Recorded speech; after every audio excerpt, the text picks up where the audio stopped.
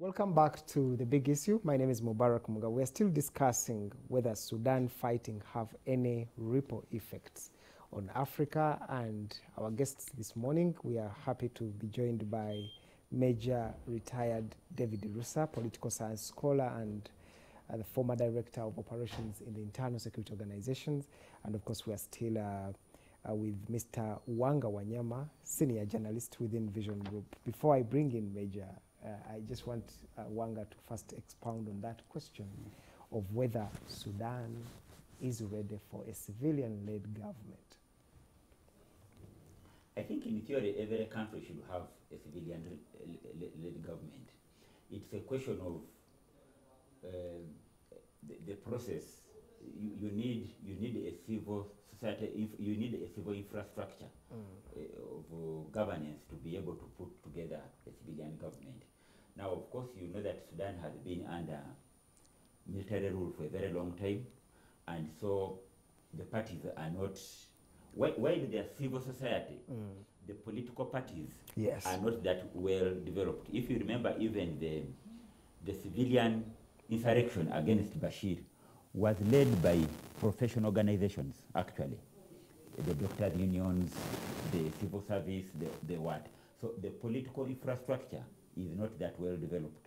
So usually you need time to develop. And uh, you need time, but you also need support for that political infrastructure to develop and then transition into what? Civilian rule. Now, of course, unfortunately for Sudan is that usually political parties in a particular region, they need support structures. Now, Sudan, for example, is in a very, is, is, is an African country, but it is also in the Arab League, and it behaves more like an Arab country. And the support in terms of uh, building political structures from the Arab world, I think, is limited. I think the country which would have the strongest influence on Sudan is actually Egypt. We'll get to that. Let me bring in Major uh, on, on that same question, but I want to take you a little bit, uh, you know, uh, backward. We're looking at, we are reading on international media, and we are looking at two generals fighting one another. Is this a personal fight, or there are other issues that are actually riddled in that whole conflict? Okay, thank you very much. Well, uh, the Sudan issue, maybe I might have to go back a little because it may be, it may surprise you to know that perhaps most of us trace our origin in Sudan. Actually, this Sudan which we see today is a very old civilization, starting from the empire of Kush, which is a very old empire, and then the kingdom and, or empire of Nubia and the Nubian empire. That was Sudan. Now, and these people have been uh, very re- resilient people. You may wish to know that actually they resisted the Arabs for a very long time. When the Arabs conquered North Africa, Egypt, and the rest of North Africa, Nubia gave them a very big problem. In fact, it took very long to capture Nubia.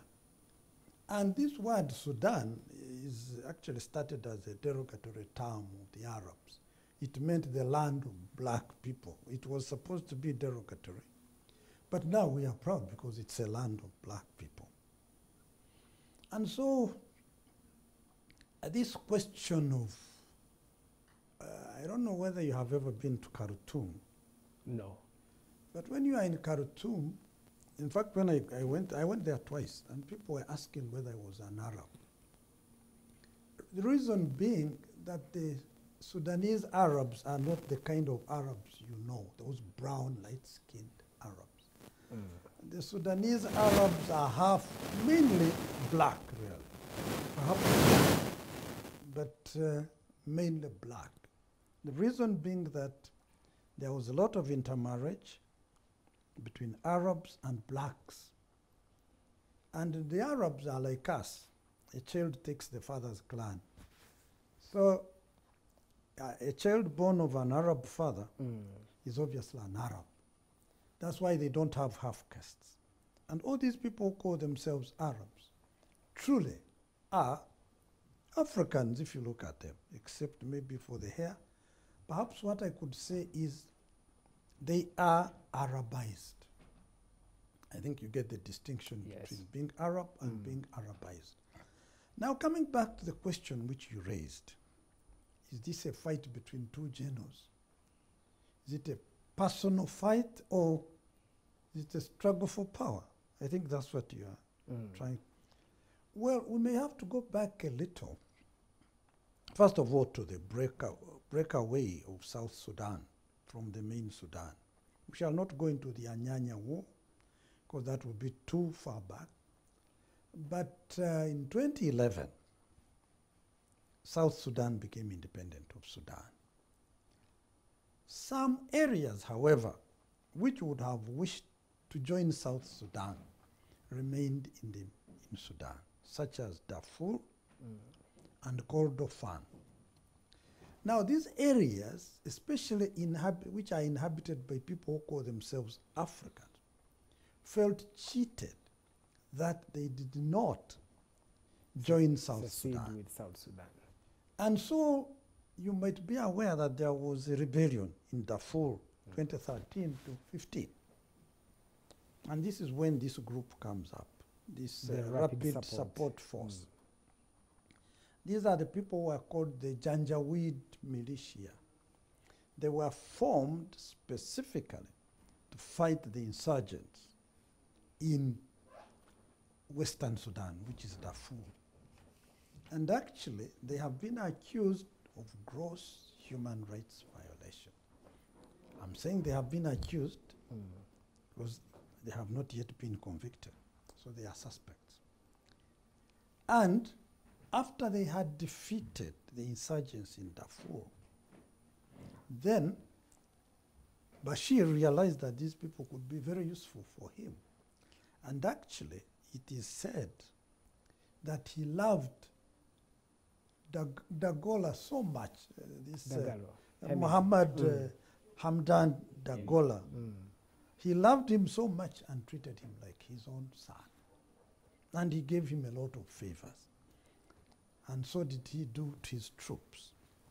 And later, when there were the Houthis were fighting in Yemen, these, uh, the Saudi Arabia and the Emirates requested Sudan to help them with forces. You know, Saudis are rich men, they don't fight. so and they appealed to Sudan. And so both, actually, both uh, Uh, uh, Burhan and, and uh. Mm. went to fight In Yemen. in, the Houthis in Yemen. And of course, they went as mercenaries. And I know some of you are political scientists. I'm sure you know what Machiavelli said about mercenaries that they owe no loyalty to anybody except themselves, and that they are brave before their friends and cowards before the enemy. Well, I'm not saying this is what these are, but I'm quoting Niccolo Machiavelli Mm. a political thinker in his book, The Prince. And so, after going to fight the Houthis, a number of things happened. One, they were handsomely paid because they were doing, call it a foreign duty, but they were mercenaries. And the Saudis have the money, as do the, the Emirates people. So they got money. And when they came back, they came back wealthy people, these two generals. Mm. And at that stage, I don't think they had any contradiction. I think they were on good terms. And they continued on good terms and supporting then President Omar al Bashir mm. until 2018 19, when there was what I might call an insurrection.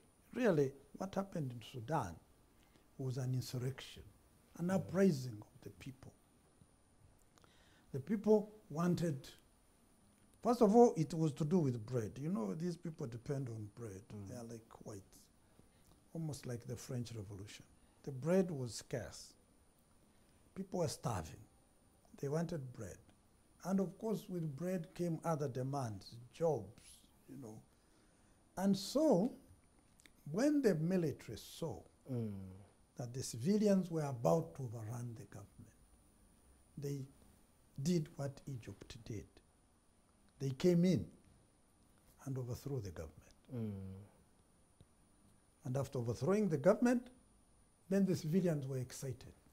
And they even kind of did half hearted political reforms, like having a civilian prime minister. We, you know tho- those stories. Mm.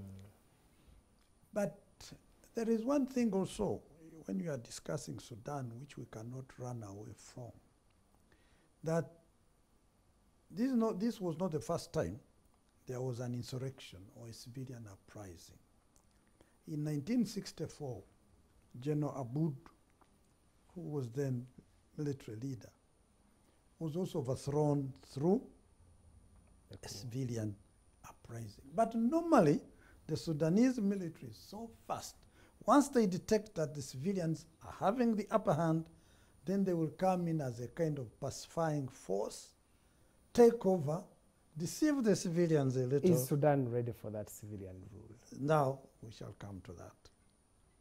Another one was the 19, was it eight, uh, when Numeiry was overthrown? No, it, uh, okay.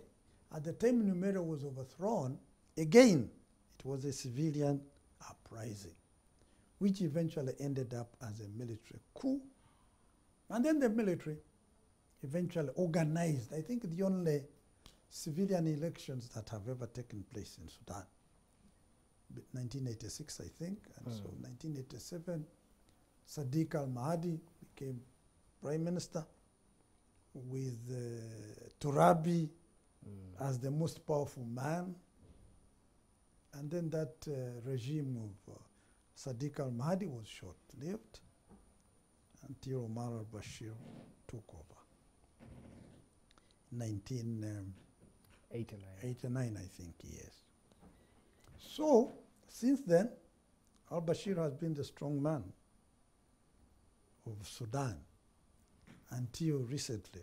2018, 2019. 2018, 19, when the civil population rose again. And then the same tactics, almost the Egypt type of tactics. You know, Egypt almost became part of the Arab Spring, but the military came in and disorganized it. They- They gave them some kind of election where Muhammad Morsi was elected and then removed after a very short time, almost what has happened in Sudan. So now to go back to the question, are these two men, like I've told you, they were allies. So if they were allies, what are they fighting for? I see there are maybe two, three things. One, of course, is usual power.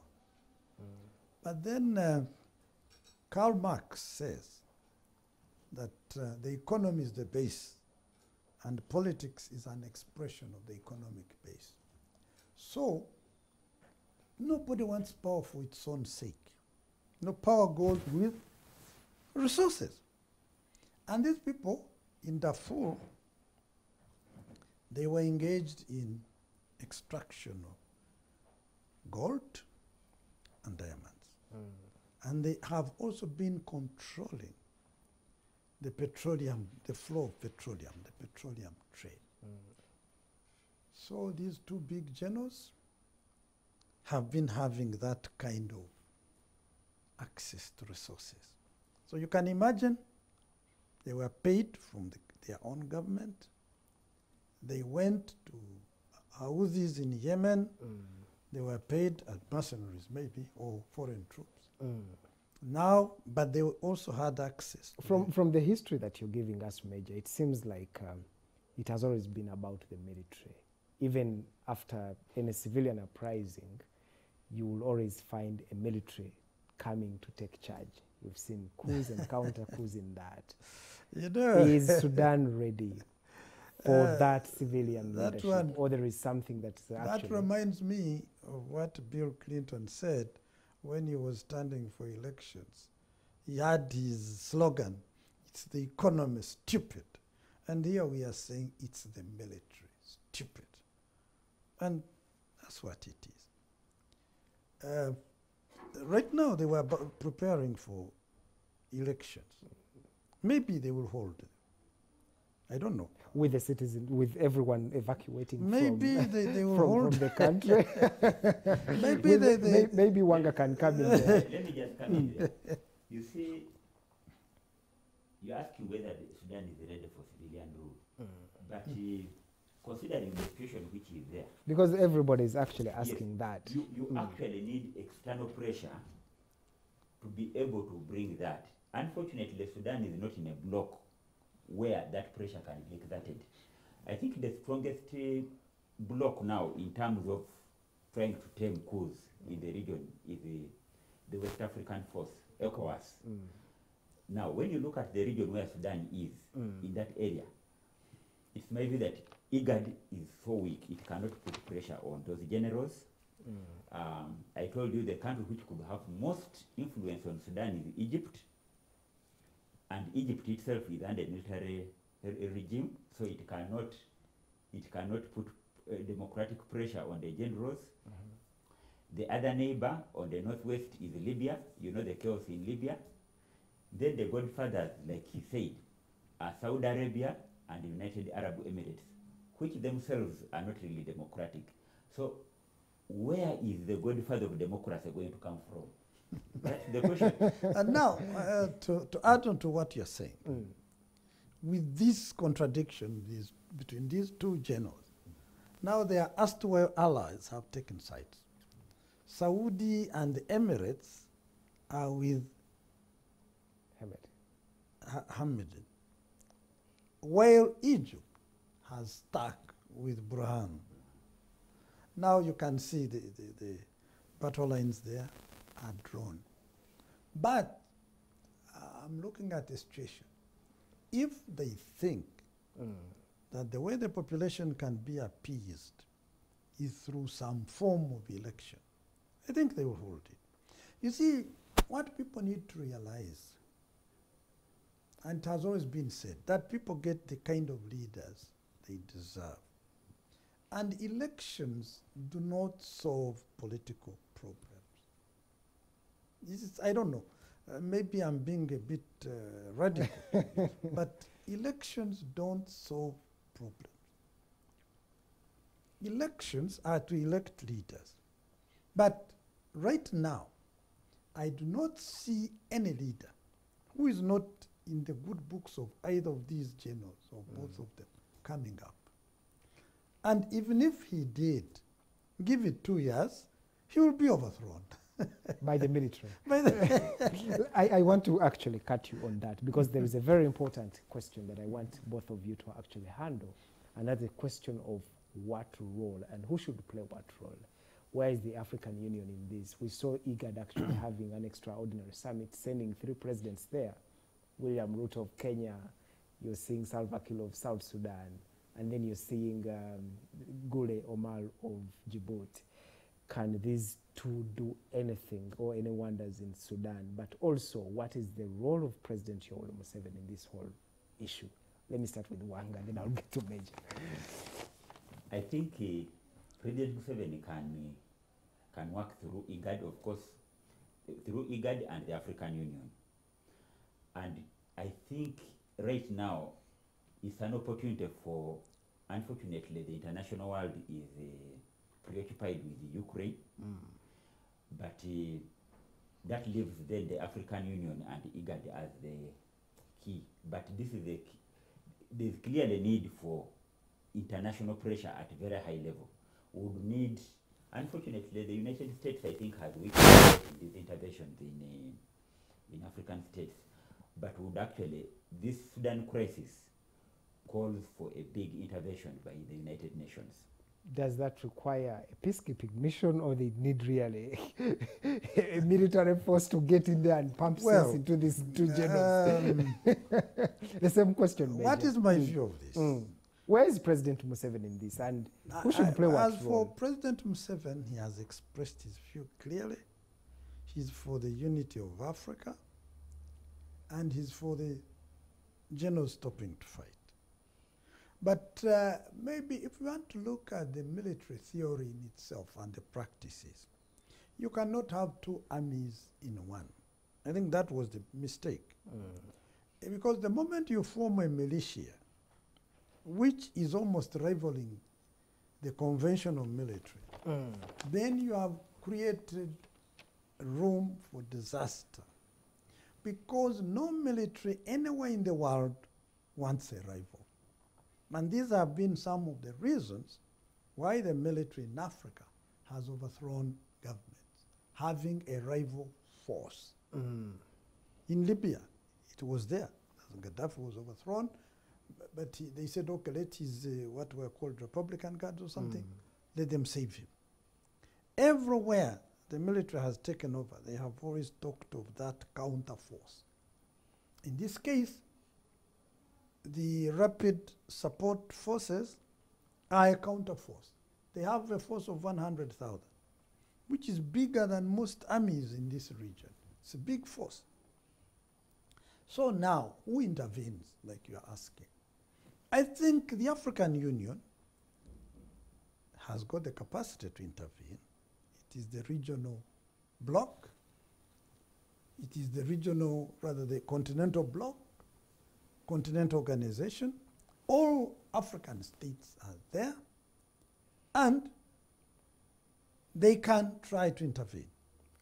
But which, which will kind of they intervention? be which will they be successful? Which kind of intervention are we talking about here? We, it can only be diplomatic. I can see that it can only be diplomatic. But these are two fighting generals, major. Yes. They are actually exchanging Call them to a fire. table, discuss with them, and then my own view would be that since Burhan is in power, and since he's the one commanding the conventional military, then the African states should go with him. Because you can't support something informal. Those ones, the rapid support forces, are informal. But this is a formal military, and the head of that military is also the head of state. And so, diplomatically and logically too, the African Union should go with the official head of state. But the RSF is okay with actually integrating into the national army. They are only asking for 10 years. And, and the, And the national army is actually asking That for two is- years. that is is that whole- fair from General That is Buhari? the whole issue. You can imagine when somebody says, I'll integrate in 10 years, what do you think is the level? Surely, I'll integrate in 10 years? Is that really serious? Why, why, why not in six months? Why not in one year? What is it that is keeping them from integrating? They need to know their fate and the line of command because this is a force, as you said, that is now grown to over 100,000 soldiers. You see, what happens when forces are integrated? We've had it here in Uganda. NRA integrated, FEDEM, UFM, FUNA, Rescue Front, all these. When you are integrated, your commander, I think he, even now he has been the deputy yeah, chief of the transition, yes. Mm. So there you are. Now, when you integrate them, you can give them some divisions and some uh, uh, brigades, battalions, And areas of operation. and area. But you may even have to integrate them fully, that they don't remain as independent forces, but rather they are mixed up. We are running out of time. I just want to know whether Mm. actually this fighting in Sudan will not actually have a direct ripple effect on Uganda, but also on the East African Community region. Wanga, then I will go to Major. Uh, definitely it will have. Why do I say so? Sudan is a very big country. It is still the third largest country in Africa, even after removing South Sudan. It borders with Chad, which is itself highly volatile. It borders with Central African Republic, Fragile. which is fragile.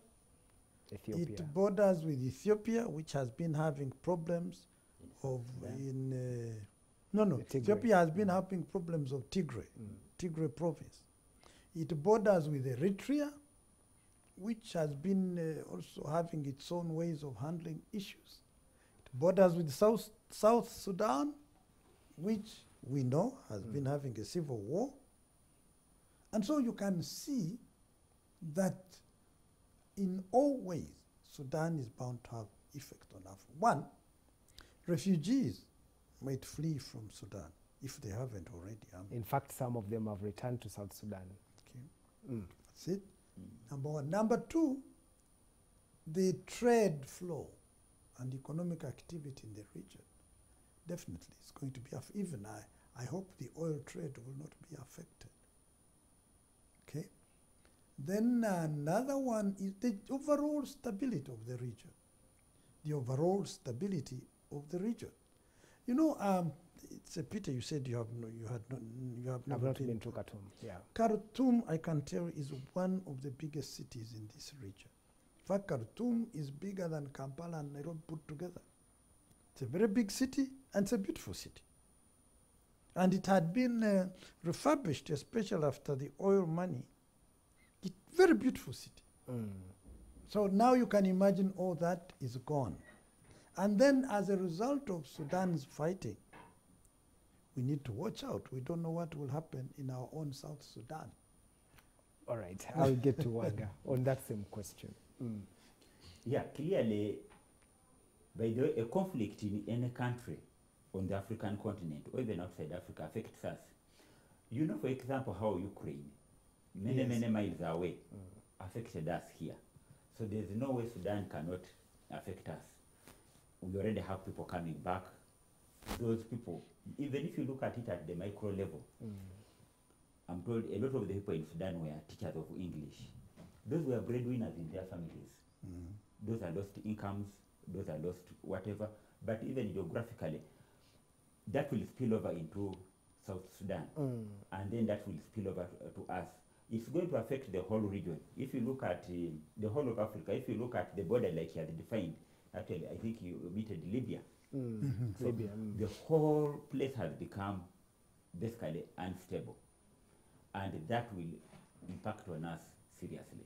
We have to wind up this whole conversation with, but I- I can't let you go without commenting on the uh, major powers or major great power competition that is going on in South in Sudan, because we've heard that there are some major powers, including the U.S., Russia, which seems to be actually fighting um, indirectly in this whole conflict that we're seeing in Sudan. And what role should these guys play in this whole conflict? Let me start with Major. Well, I, I don't have facts, but what I've heard quietly is that the Wagner Group, which is a Russian military, Mercenary group.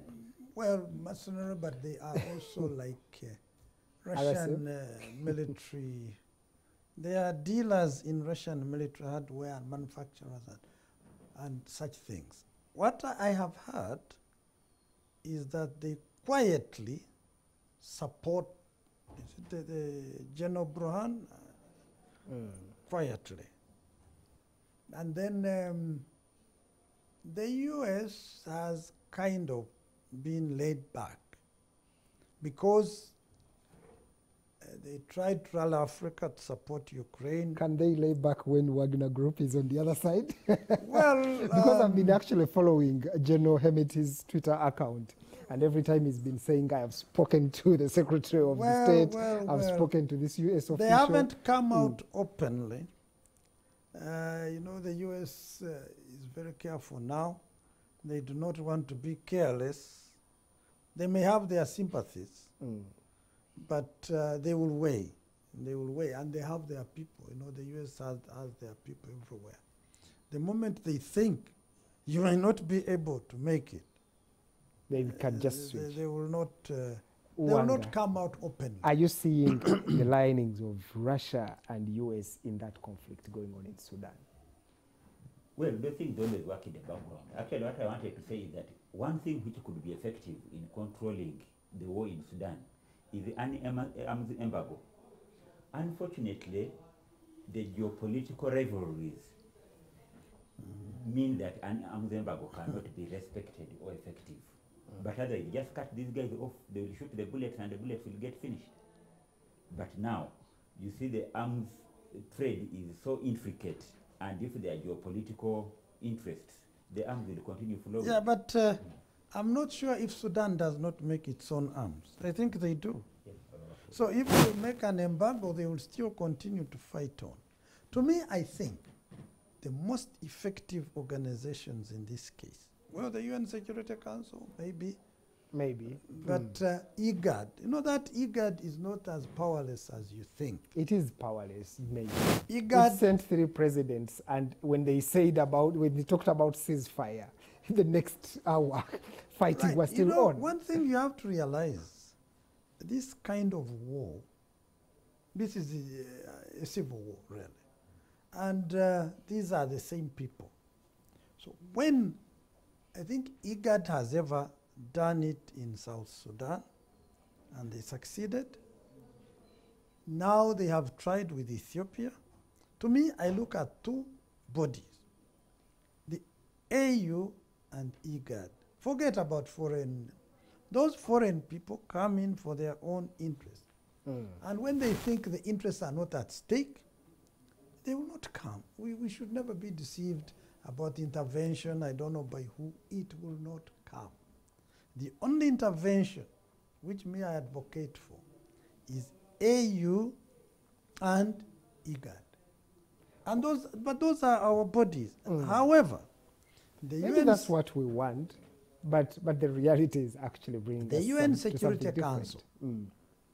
if it was not as fractured as it is now, Mm. could have come in with maybe, but you cannot, you see, peacekeeping force works after a ceasefire. Mm.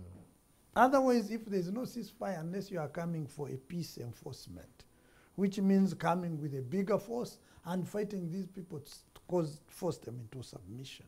Haven't we reached to actually peace enforcement operation in uh, in in Sudan because the state is actually on But the verge of collapse? Let me ask you, how long has the Ethiopian conflict taken?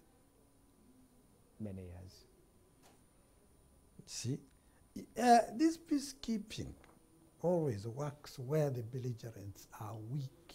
This is the truth. Yeah, that is true. When there are strong belligerents, Mm. nobody wants to go and die in a country which is not there. Bashir Unless, is, Bashir is actually out of jail. And what does this mean in a minute as we are winding up? Because I have heard voices of people saying maybe it was a mistake to oust Bashir, and that's why Sudan is now back to war. you have gone back to it. It is not easy to remove a strong man and have peace. Example Iraq after Saddam Hussein, Libya after Muammar Gaddafi, now Sudan after Bashir, Somalia after he did. Somalia, no, no, Somalia after, after Siad Barre. Then now, Egypt was saved by the military. You know, in Egypt, there are two institutions which are highly respected. The military is held in very high esteem because it has always fought for national sovereignty. And the other one is the chief mufti as a moral leader. So with Egypt, they were saved by the military when it came and said, stop. But Sudan's military does not have the same level of loyalty. Mm. Although they try to imitate Egypt, they do not have that same level. Wanga, in a minute, does this uh, is do you agree with Major that actually it is not easy to remove a strong man and No, you What can remove exactly? him, but What- the what consequences. the, the, the impact afterwards? Every strong man has been followed by disaster. Add Tito, Josip Broz Tito, and Yugoslavia. After him, Yugoslavia there was no more Yugoslavia. Mm. So, in other words, you're saying that it is right for actually Sudanese to regret having hosted Bashir. Maybe Bashir was a better evil. Where there, was there war in, uh, apart from the Darfur things? Otherwise, Sudan was peaceful, it was developing. All but right. now, it, Mm. you know, so what would you rather have? Mhm. Anarchy or dictatorship. I don't know. and of course, that winds up our conversation. Thank you so much, Wanga. Thank you so much, Major Rusa, for actually sparing time to speak to us. We really appreciate your presence, and for sure, that conversation continues on our various social media platforms at Urban TV Uganda, on Twitter, on Facebook, Urban Television. We also stream live on different social media platforms. You can actually join us and have a glimpse of that, uh, you know, conversation. We want to take a short break. When we return, we have a conversation with the gentleman behind the Ghetto Kids. We saw them actually performing at the Britain Got Talent, and they got the first buzzer in action. That was actually never experienced before. That conversation is returning with Maizra Miti. A very good morning.